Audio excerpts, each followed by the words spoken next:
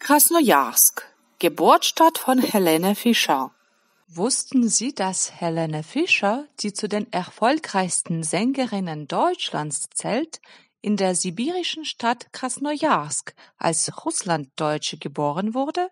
Sie kam am 5. August 1984 zur Welt. Ihr Vater arbeitete als Sportlehrer, ihre Mutter als Ingenieurin an einer Hochschule.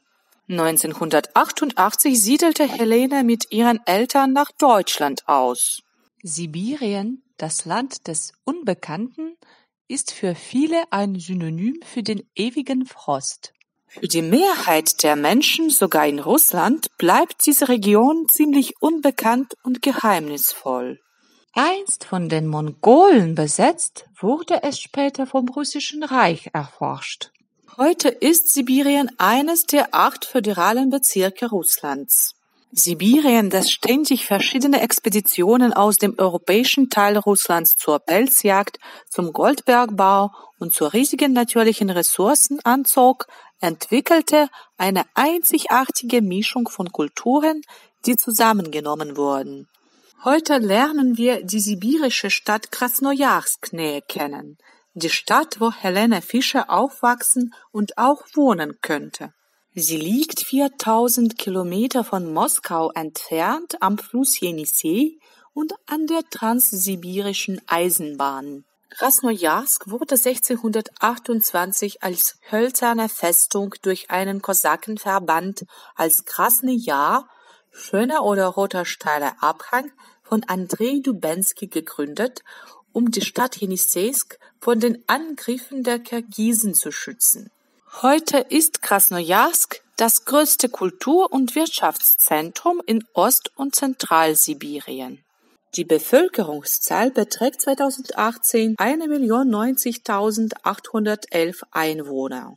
Somit ist Krasnojarsk nach Nowosibirsk und Omsk die drittgrößte Stadt Sibiriens.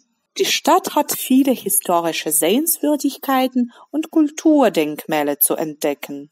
Das Krasnojarsker Lenin-Museum war das letzte seiner Art. Es wurde im Perestroika-Jahr 1987 eröffnet.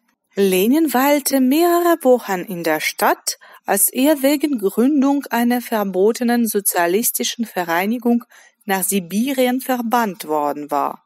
Nach dem Ende der Sowjetunion erfand sich das Museum neu als Kunst- und Kulturzentrum das sich mit dem sowjetischen Erbe kritisch auseinandersetzt. 1997 wurde das Haus zum besten Museum Europas gewählt.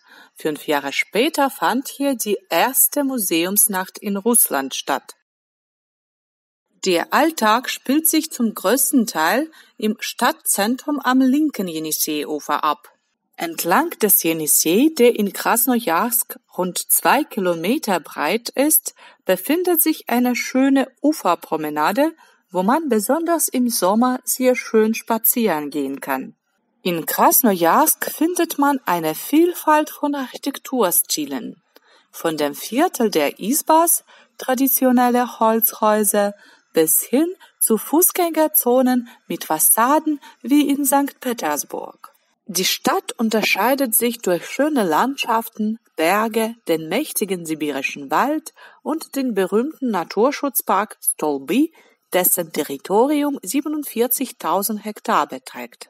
Hier liegen hoch über dem gewaltigen Jenisej Felsenformationen ähnlich der sächsischen Schweiz. Krasnojarsk ist nicht zuletzt ein wichtiger Industriestandort Russlands.